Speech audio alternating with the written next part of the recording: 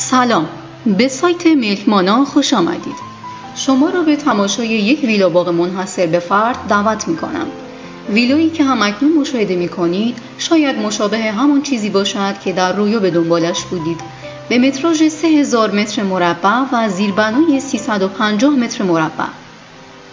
نمای ساختمان بسیار زیبا و دلفریب دارای ایوانی به شکل نیم دایره برای گذراندن اوقات فراغت و لذت بردن از فضای چشم نواز و مشجر باغ می باشد. فضای داخلی این ویلای دوبلکس دارای سالنی دلباز و بزرگ و چهار اتاق خواب که دو اتاق آن در طبقه پایین و دو خواب که یکی دارای مستر می باشد در طبقه بالا قرار دارد. با بالکن‌های بسیار بزرگ که هر کدام به مانند یک سویت مجزا می باشد. این ویلا باغ دارای دو سرویس بهداشتی فرنگی، یک ایرانی و دو حمام در هر طبقه می باشد. دیوارهای اتاقها multicolor و سالن پذیرایی ترکیبی از کاغذ دیواری و سنگ آنتیک و چوب نراد است.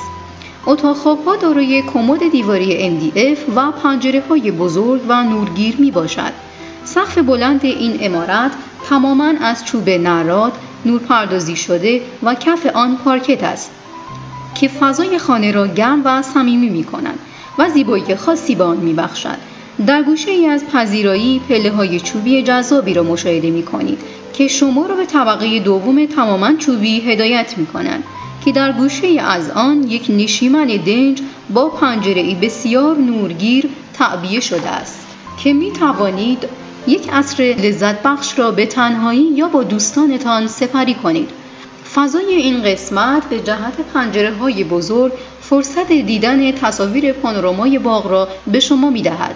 آشپزخانه این امارت چوبی در طبقه اول دارای کف سرامیک کابینت MDF می باشد.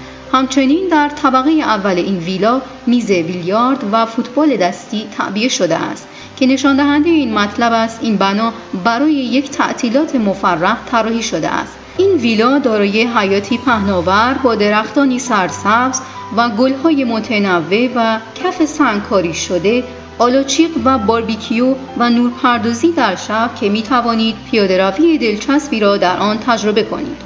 همچنین قابلیت پارک هشت خودرو را نیز دارد. درب ورودی اصلی بزرگ و آهنی و فرفوژه طرحدار می باشد. این ویلا در فرعی دنج و آرام واقع شده و موقعیتی استثنایی برای سرمایه گذاری می باشد. ملکمانا از شما بابت تماشای این ویدیو سپاسگزار است.